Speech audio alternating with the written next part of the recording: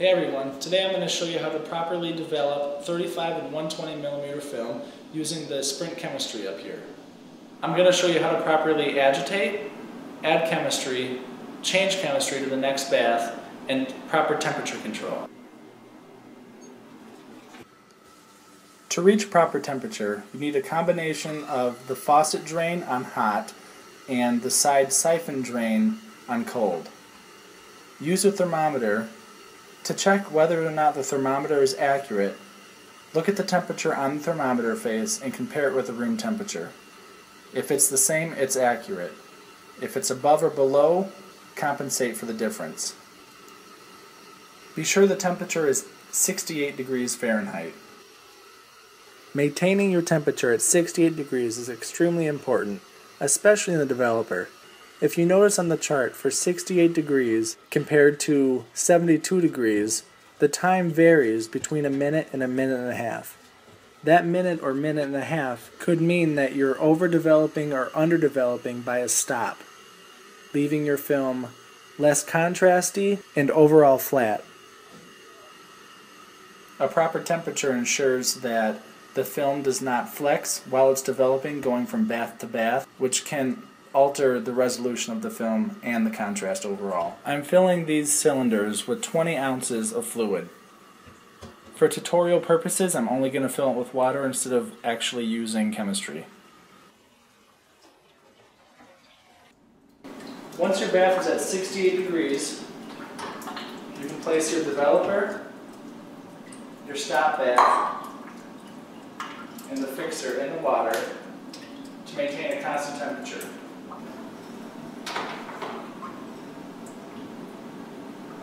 Check your developer and your stop and your fixer to make sure they're the right temperature. Once they are also to 68 degrees, you can start developing. Remove the cover from your developer tank. The proper way to pour developer in this takes 10 seconds pouring it.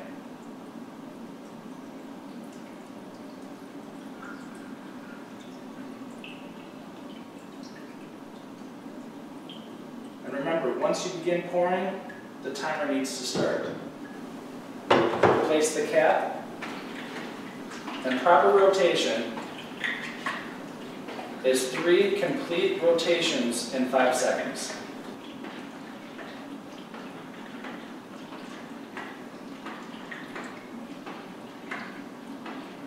Watch your timer to determine how fast you need to rotate.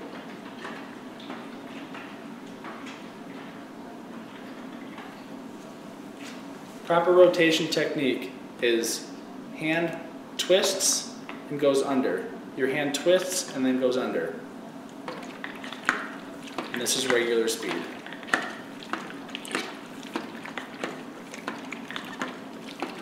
This allows the air to travel across the film, agitating the developer. Once your time is up, make sure you take 10 seconds to pour the developer.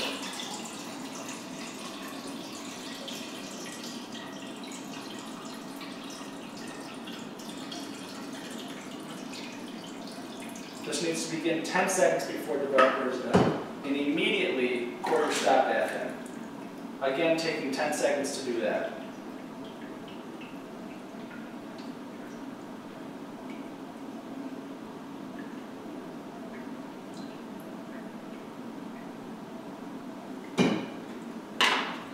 As you stop bath is constant agitation.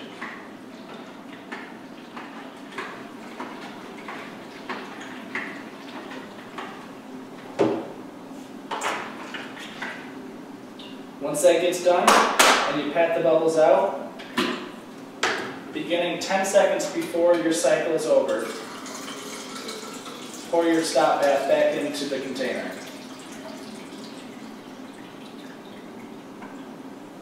Immediately pour your fixer in. Again, taking 10 seconds to do that too.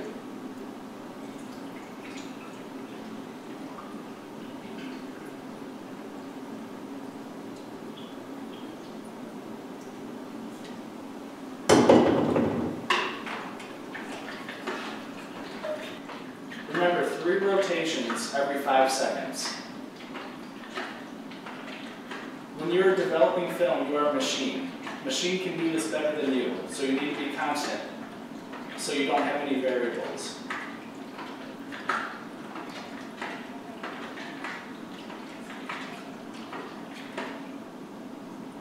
Once the timer is done with the fixer, take the top off, and pour it back in, taking 10 seconds to do that too.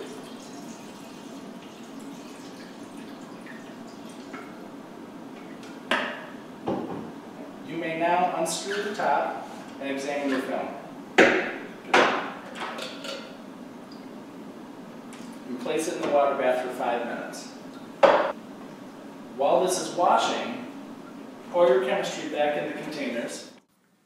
While your film is in the five minute water bath, take that time to get everything ready for the next step. The fix remover needs to be filled to 20 ounces just like the other ones did and set in the bath so it can bring it down to temperature too. Once you have rinsed out your container, you can replace the film, screw the top back on, Get all the extra water out. And get ready to pour the fix remover in. Take 10 seconds to do this too. Remember, you need to be machine-like. You can't have any errors doing this. Otherwise, in every roll of film you have, there will be some sort of mistake. Constant agitation for two minutes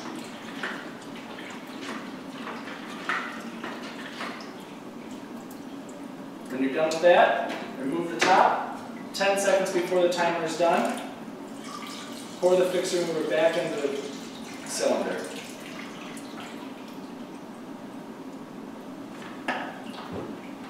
Now you can again remove the top and allow for another 5 minute water bath. During your second 5 minute water bath, this is a good time to get your photo flow ready and if you have any film wipes, get those ready too because the next step is photo flow for 30 seconds and then it goes into the dryer.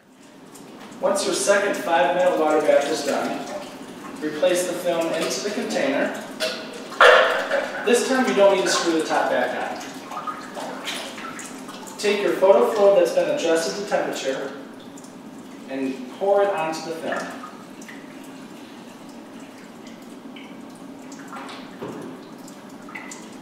Take the foam canister,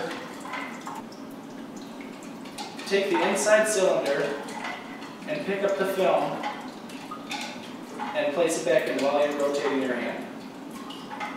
Do this for 30 seconds.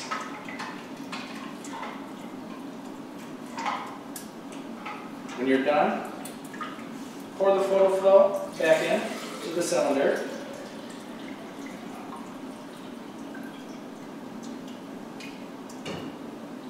carefully pull your film out, and let it drip over the sink a little bit, and then take it over to the film dryer to dry your film.